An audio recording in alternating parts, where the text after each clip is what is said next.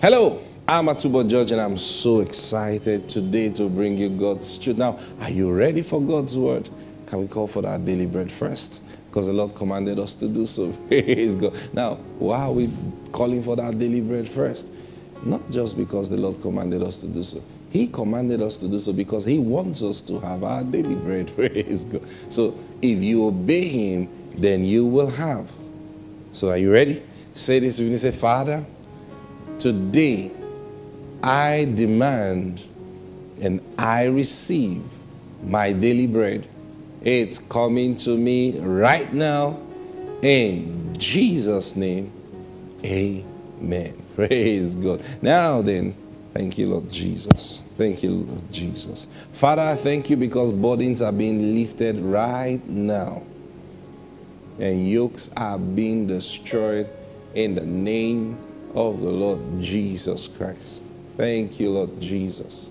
Now, someone you're watching me right now, and you've been dealing with certain suicidal thoughts in your heart. You've been battling with it. It looks like all hope is lost for you, and, and you, can't, you can't even see any future. Listen to me now. That is the lie of the devil You've got a future.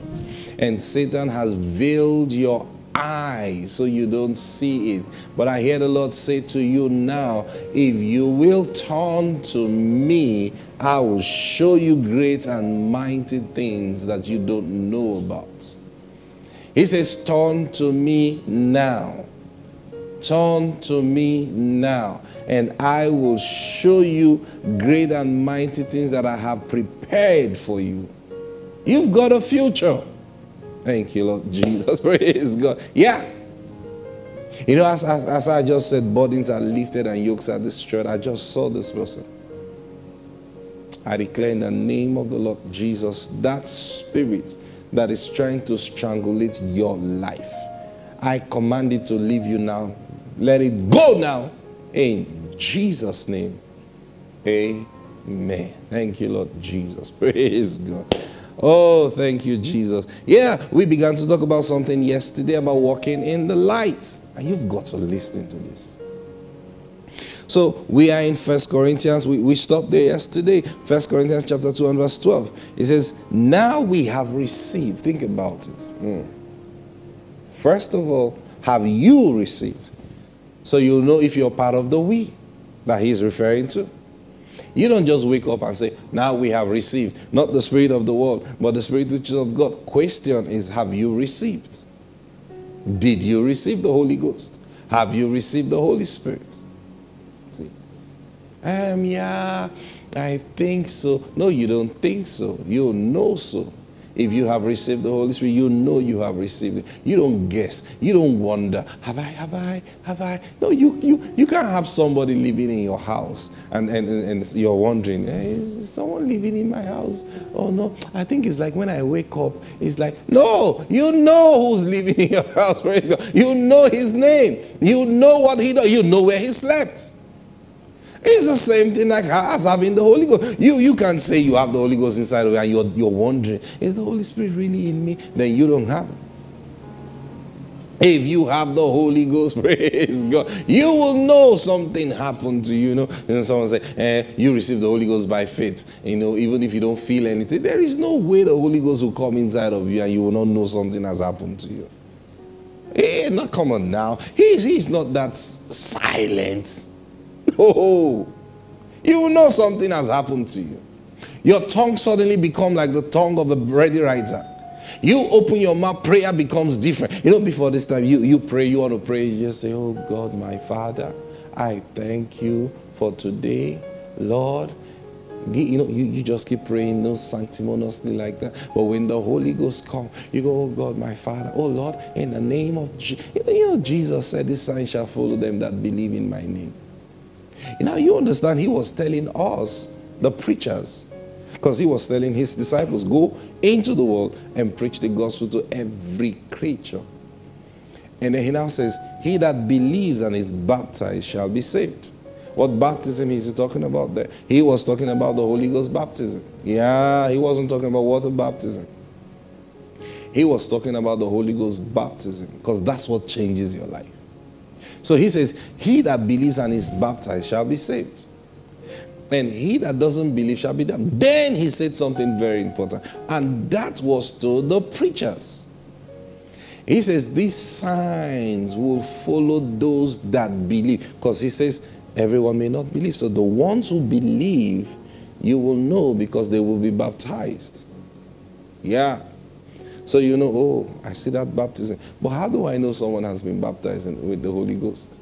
He said, This sign shall follow them that believe. Now, when you look at every sign he gave, you know he's talking about the manifestation of the Holy Spirit in their lives. So when he says, This sign shall follow them that believe in my name, he said, They will cast out devils. That's not a silent thing. you, you, you won't tell me that you got up one day and you just, just felt an urge to cast out the devil that's been troubling you every day. You know, you know, you, you're this fellow, you sleep, and then something comes to press you, and then you wake up, Jesus! And then you, you open your eyes. And then it continues like that. The day you receive the Holy Spirit, oh,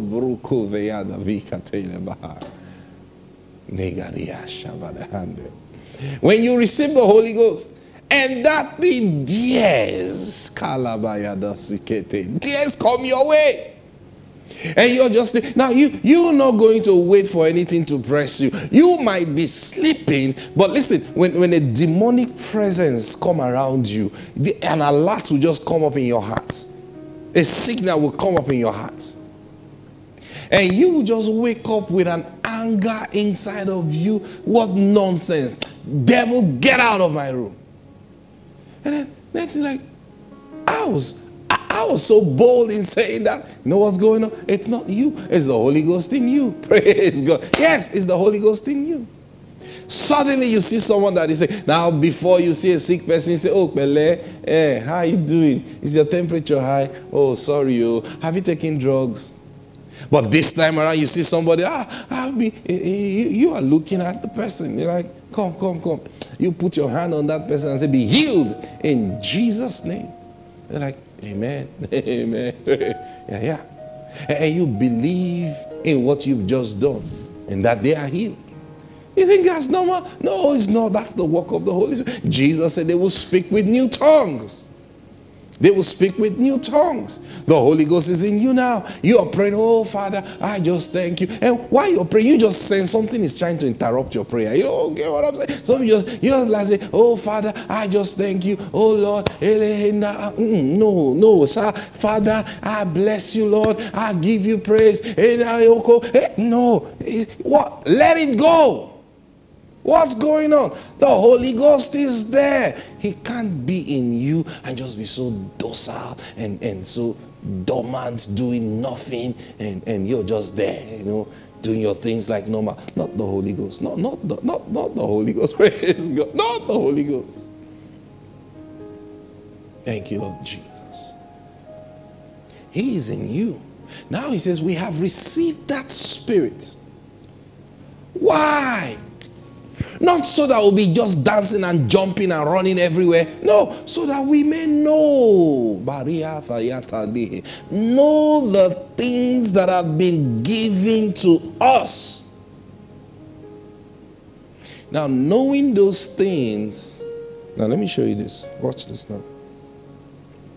Remember, we're talking about walking in the light. It says, that we might know the things that have been given, freely given to us of God. Now, what does the Holy Ghost do in you? He turns on the lights. Listen, when you're in a dark place, you will know what is in that place.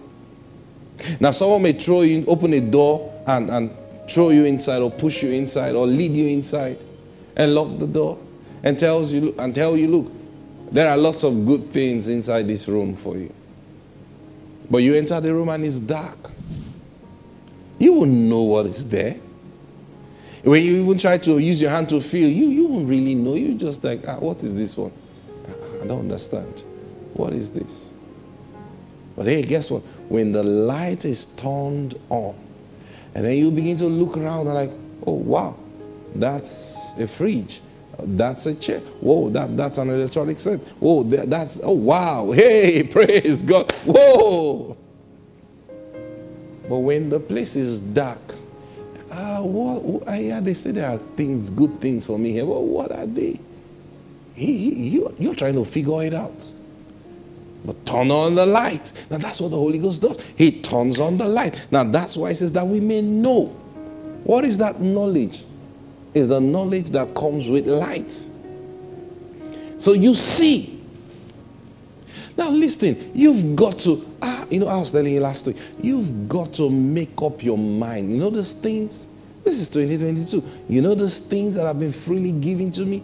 I must get every one of it. Jesus said, Ask and you shall receive so that your joy may be full. So Jesus is interested in the fullness of my joy. But guess how it works? Now, this is the secret. mm. This is the secret. Listen, listen. Verse 12. Now we have received not the spirit of the world, but the spirit which who is from God, that we might know the things that have been freely given to us by God. Now look at verse 13. These things we also speak. Which things? The things that have been freely given to us. How do we get to know them? By the Holy Ghost. Now he says, These things we speak, not in the words which man's wisdom teaches but which the Holy Spirit teaches. Mm. So there is a teaching of the Holy Spirit that helps me to assess those free things that have been given to me.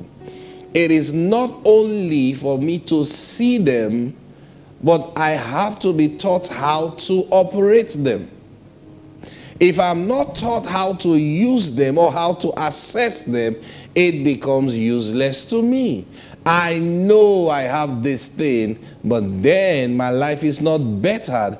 I know I've got, you know, you know, you know, some, some people like, ah, ah you know, you, have you walked into someone's house before and, and then you see them hold um, an electronic equipment and, and they are just using 1% of that thing. Some people have phones. They don't know what their phones can do. So, so what do you do with your phone? Just to receive calls and send text messages. Come on now. Do you know this is your phone can, can tell the atmospheric pressure? Do you know this is your phone can tell your body temperature? Do you know this is your phone can check your heartbeat rate? Do you know this is your phone? Do you know? It's like, huh? And I used to pay money for all those things. you didn't know, but you had it.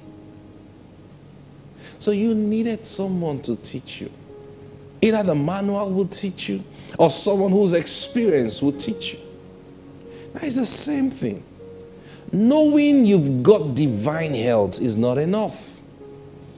Knowing you've got divine prosperity is not enough. You will not walk in it until you are taught. And let me tell you this truth. The only person that can teach you, aha, Rakashabaya Tomorrow I'm going to begin to go into how the Holy Spirit teaches us these things. Praise God. Because my time is up today. But you've got to learn this thing. Listen, make, say this with me. Say, 2022, I will walk in all things God has given me freely. In Jesus' name, amen. I'll see you tomorrow. Bye.